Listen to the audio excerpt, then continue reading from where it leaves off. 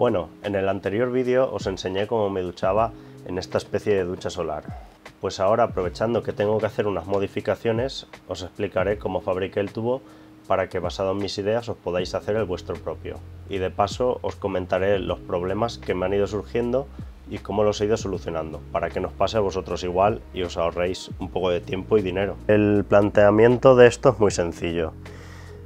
Eh, en la parte de atrás de la furgoneta irá, o en la parte que va atrás, que es donde vamos a necesitar el agua, irá un tapón que va cogido uno de los tubos, estos son dos tubos como veis, y aquí irá un tapón en el que taladraremos en la parte de arriba, esto es la parte más alta para que cuando metamos aire eh, no coja el agua, que esté en la parte que suele haber más aire, que es arriba, le taladraremos y le pondremos esta válvula. Para poder poner la salida aquí abajo, lo que hemos hecho ha sido añadirle esta pieza, que se le hace aquí un agujero, y será por la que deje pasar el agua hacia abajo. Eh, se pega bien y aquí pondremos a rosca nuestro, nuestro grifo, que es el que compramos, que lo tenéis en la descripción del vídeo, pero bueno, vale cualquiera. A mí me gustaba este porque se puede poner en T para que siga para allá y no nos pegue porque aquí ya estaría en la carrocería del coche y así ya no nos pegaría. Esto es un tapón para que no se vaya para esta dirección el agua. Esto es la válvula, o sea, esto es lo que abre la válvula.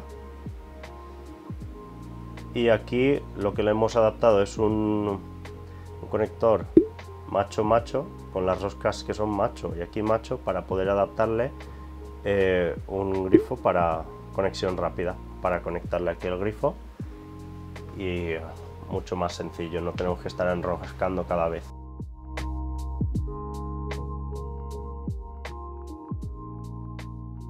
Aquí tenemos un tubo, que esto es todo almacenamiento. Aquí le vamos a intercalar esta T para hacer la entrada de agua aquí en medio, porque yo la tenía aquí, pero esto lo vamos a dejar tapado.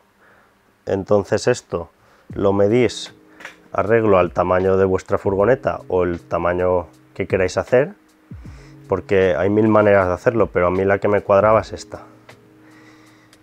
Bien, el primer problema que tuve es que antes tenía aquí el grifo, que como veis aquí lo he tapado, ahora ya no, no tiene agujero ni nada, está sellado. Antes tenía aquí el grifo y lo que pasaba es que cuando llegaba el nivel de agua por aquí ya no salía más aunque le metiese presión no, no acababa de salir. Entonces tuve que modificarlo y pasarlo aquí abajo para que caiga hasta la última gota y necesite menos presión para, para tirarla. Luego aquí también en la entrada de aire le tuve que añadir más fibra porque se ve que no se pegó bien del todo, había un porito y iba perdiendo muy poco a poco aire, pero pero bueno, ya está solucionado le puse fibra con resina y está solucionado, pero si le pones bien de pegamento por dentro y por fuera no debería perder aire. El segundo problema que hemos tenido ha sido la boca de llenado, que cuando lo abrimos y metemos agua, como la parte más baja del tubo por la que llenas no es tan más alta que, el lleno del tubo, cuando se llena por aquí ya se sale, porque esto, a ver si se aprecia, cuando llega por aquí, el nivel está por aquí y nunca llega hasta arriba del todo. Luego también que si estamos en pendiente, si hemos aparcado en pendiente y está hacia abajo, puedes llenar menos agua. Y aparte que lo que hace es que balancea mucho. Entonces,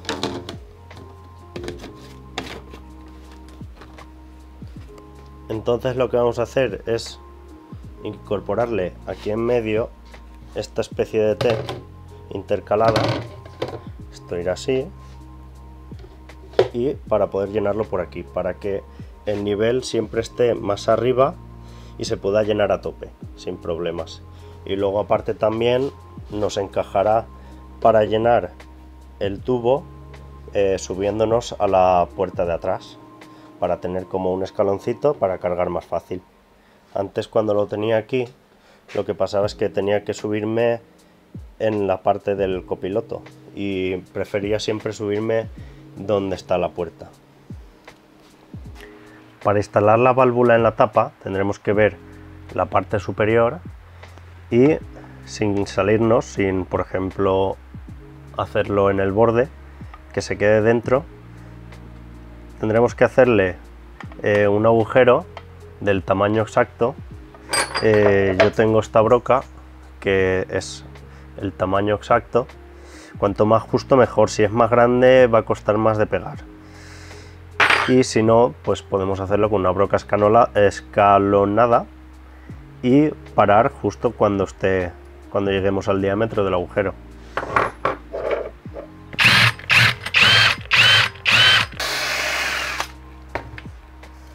Una vez hecho el agujero, pondremos por la parte de delante, quitando la goma esta, porque esta se tiene que quedar por dentro. Si veis que no entra, le hacéis un pelín más de agujero, pero sin pasarse, porque vale la pena que vaya justo a que, a que se pase de holgura. Ahí ya se queda que entra justo. Y aquí es donde le pondríamos la goma. Y todo esto aquí será donde vamos a ponerle el pegamento, una casi yo aquí le pondría una balsa entera de pegamento, o sea, un montón aquí. Y por esta parte también. Por aquí también iría eh, bastante pegamento para que seque y selle y no pierda por aquí aire que por aquí es donde más fácil es que pierda también muy importante esto habrá que hacerlo antes de pegarlo al tubo porque si no ya no podremos meter la mano para poner pegamento por aquí dentro Vale, para poner la pieza esta, como ya la tengo instalada, no la voy a poner otra vez, pero os lo voy a explicar cómo. Aquí tiene un agujero que lo que habrá que hacer es poner la pieza y habrá que marcar con el lápiz, desde aquí dentro, habrá que marcar con el lápiz, retirarlo y hacerle un agujero con el taladro. Entonces ya lo ponemos justo donde está el agujero que hemos hecho y lo pegamos con cola.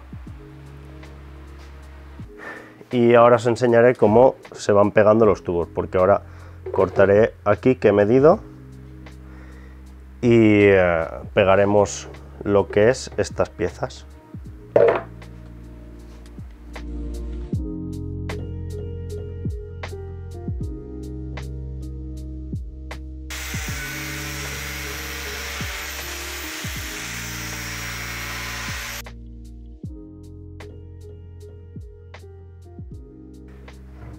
Vale, aquí en este punto ya solo nos quedaría añadir estas piezas y vamos a probarlas. La T iría aquí, que encaja perfecta porque es su medida. Aquí necesitaríamos un manguito, como veis, aquí. Entonces la otra parte del tubo iría por dentro. Y así, luego iría aquí el tapón Ahora esto ya solo nos quedaría limpiarlo y pegarlo todo. Y ahora os enseño cómo. Bueno, y aquí ahora también tengo un problema. Que como lo, como lo pinté con una pintura ultra resistente, que es esta que es 2KR, no sale ni con disolvente, así que lo voy a tener que lijar. Pero lo ideal es que si viene el tubo sin pintar, así como este, con solo disolvente, y lo limpiamos un poco, con eso ya debería pegar, no hace falta lijarlo ni nada para pegarlo.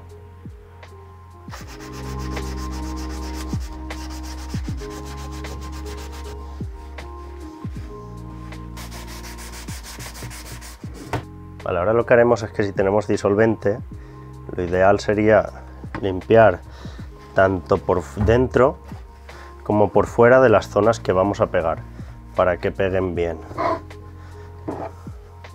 Así lo haremos un pelín más poroso y ahora que pegue mejor.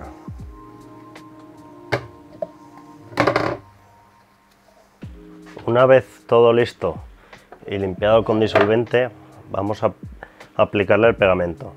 Hay muchos tipos y muchas marcas, pero yo gasto este que, que nada, con esto solo me sobrará, aunque le voy a poner bastante. Pero nada, tiene que ser un pegamento de presión de PVC. lo primero va a ser dónde va a ser. Yo voy a marcarme aquí donde tiene que ser el arriba para que nos quede la parte de la entrada de agua arriba y aquí el grifo abajo. Y aquí el grifo abajo. Para que no se quede así de lado ni nada. Tiene que quedarse esto mirando hacia arriba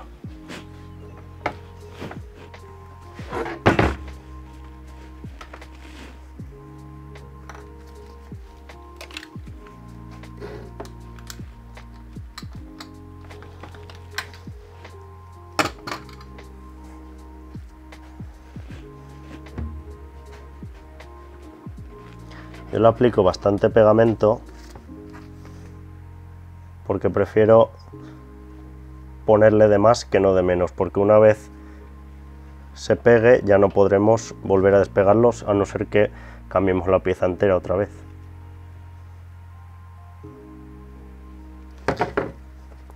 Y aquí que es la parte que es la que entra,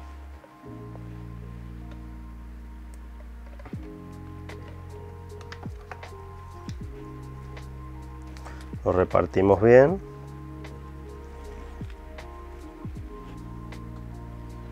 Tampoco hace falta ponerle tanto como he puesto yo pero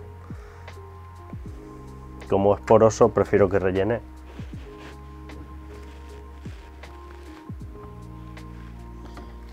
Y esto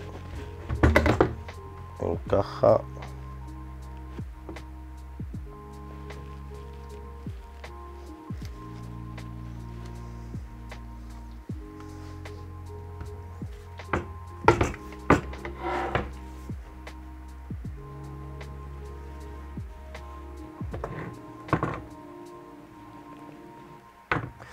tapamos un poco los huecos, quitamos el sobrante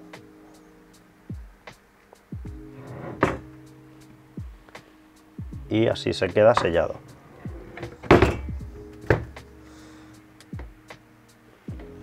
No os preocupéis por si llenáis todo el tubo dentro de pegamento porque una vez se seca ya, ya se queda seco y ni huele ni nada.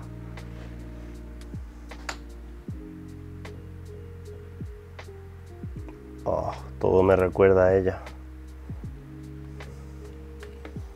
Quitamos el sobrante, con cuidado que no entre en la ranura, si no se nos va a pegar la tapa. Y pegamos.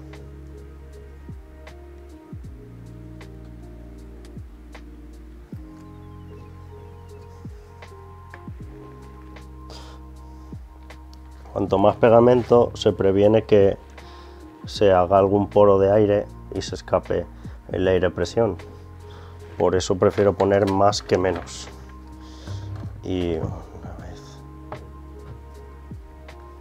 Hay que ponerlo ya encarado porque una vez entre y pegue ya no se puede mover.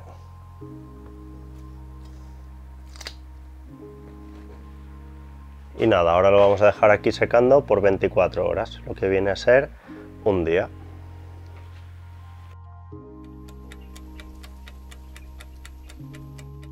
Bueno, ya han pasado 24 horas, ya lo tenemos aquí, es que ya está seco el pegamento. Esto de aquí está seco. Eso sí huele que no veas, pero bueno, eso se va yendo con el tiempo. Y a medida que le vamos echando agua y eh, haciendo lavadas. Pues nada, vamos a probarlo a ver si pierde y a ver qué tal está todo. Nos lo llevamos a la mesa de operaciones. Vale, ya lo tenemos aquí todo listo para la prueba. Así que lo primero que vamos a hacer va a ser rellenarlo de agua. Yo le voy a meter dos garrafas de 8 litros y vamos a ver.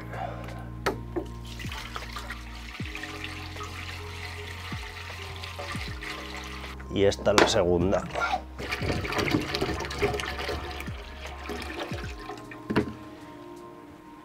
Bueno, ahí van 16 litros y yo calculo que le cabrían unos 8 más, más o menos unos 25. Pero bueno, yo ya lo voy a dejar así para la prueba al menos. No me hace falta llenarlo del todo. También hay que tener en cuenta que cuanto más agua haya, menos presión hace falta para, para que salga el agua a presión. Me explico. Cuanto más agua, menos aire hay que empujar. Ahora lo cerramos la junta esta de goma tiene que sellar bien porque si no se nos escapará la presión de aire. Entonces aquí intentamos cerrar con fuerza y ahora vamos a meterle aire. Muy importante también en las piezas que son a rosca ponerle un poco de teflón porque si no va a perder aire y va a perder eh, agua, va a gotear y eso nos hará eso, perder presión. Eh, como, cada uno, tendrá un grifo distinto, bueno, yo voy a deciros cómo poner el teflón y eso será ir aplicándolo en cada parte de fontanería que pongas.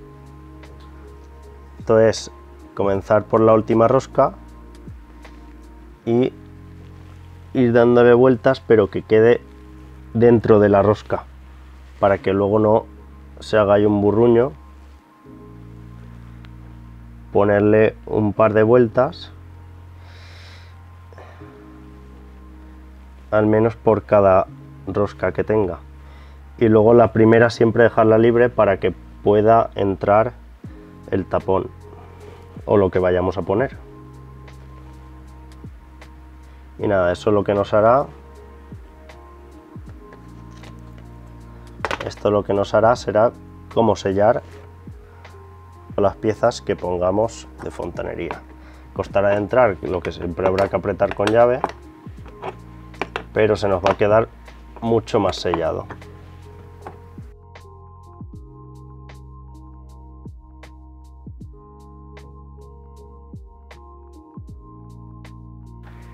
Y bueno, aquí podéis introducir aire de la manera que, que os sea más cómodo. Hay miles de maneras eh, yo en el anterior vídeo os enseñaba cómo lo introducía con un mini compresor a batería, que es un hinchador de ruedas de bici o de coche, que es lo que más me gusta al final. Y ahora como estamos en el taller, lo que voy a aprovechar es para usarlo con el compresor y así veo mejor la, la presión que le introducimos. También se le puede introducir con un, con un hinchador normal de bici o cualquier cosa que tenga para estas válvulas. Y nada, introduzco aquí y vamos a ver, lo voy a cargar. Uy, ese ya se oye.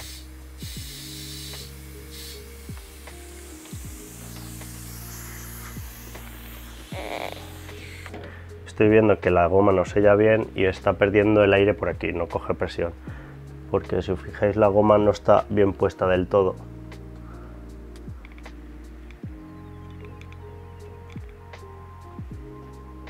Vale, una vez bien puesta la goma, vamos a cerrar y vamos a volver a probar.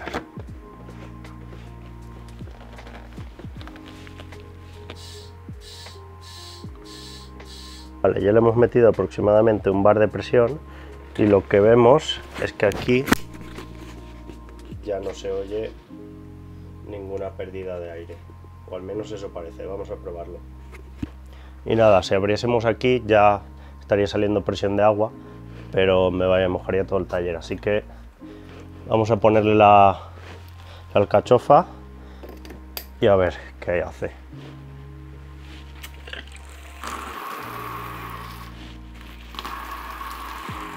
Una vez cargado, esto se lo podemos quitar y la presión, como no tiene pérdidas, se mantiene. Así que vamos a probarlo.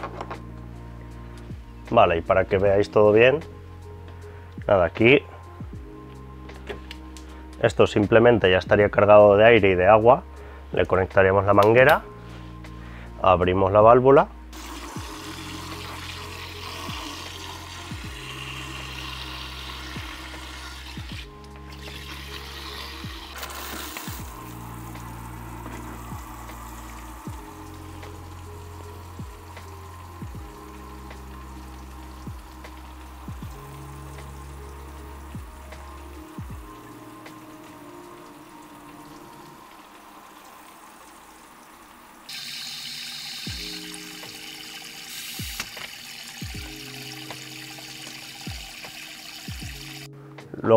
vez ya hayamos cargado la presión, eh, siempre podremos regularla con la palanca del grifo. Eh, todos los grifos suelen llevar una palanca y bueno, igualmente pondré este que he puesto yo, que a mí me va muy bien, lo pondré en la descripción del vídeo.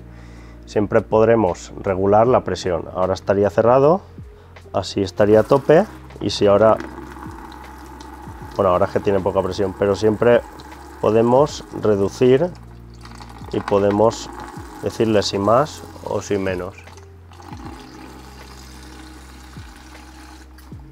otra cosa que hay que tener en cuenta que me han preguntado muchos por el vídeo anterior que me preguntaban que si no hacía falta presión que sin presión eh, saldría el agua por la gravedad y bueno, aquí está bajo el... Eh, donde está la salida de agua está abajo. Aquí lo tenemos abierto y tenemos agua. Tenemos abierto lo que significa que no tenemos nada de presión porque se ha ido todo el aire. Y vamos a ver lo que caería. Pues si caería, eso es lo máximo que caería, aunque esté en caída, porque está todo en caída esa es la presión que tiene. Y luego aparte que si lo tuviésemos un poco más alto de nuestra cabeza, lo que tiraría es cero. Tendría que estar siempre más bajo. Por eso es por lo de que la presión del aire. Y nada, ahora toca montarlo en la furgoneta.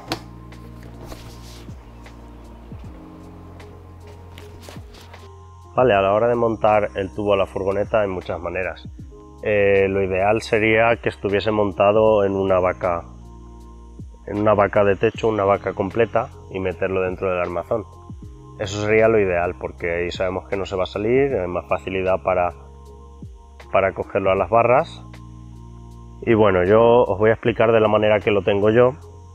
Yo lo tengo cogido a las barras de techo, son las dos barras, Y a ver, como las barras son en horizontal y nosotros lo que queremos es que vaya así, longitudinal, lo que, eh, lo que he hecho ha sido poner esta especie de pletina para poder coger la cincha, cogerla y que coja el tubo y encima esté dentro aquí protegida para que no se salga el tubo. Y bueno, tengo las barras de techo estas, pues porque unas barras normales y corrientes, creo que son universales, porque como tengo el baúl que lo llevo siempre, el baúl lo he tenido que recorrer un poco para allí y así el tubo ir aquí, que ahora lo veremos cómo va.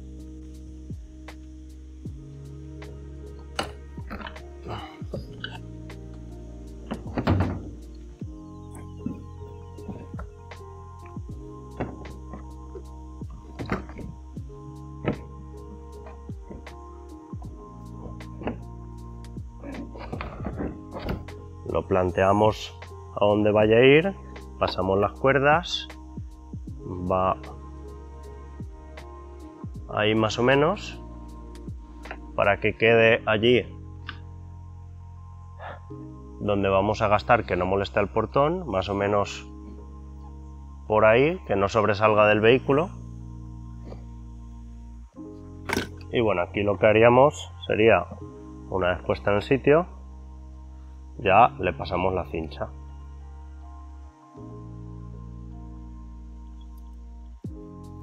Pasamos que quede recta, apretamos.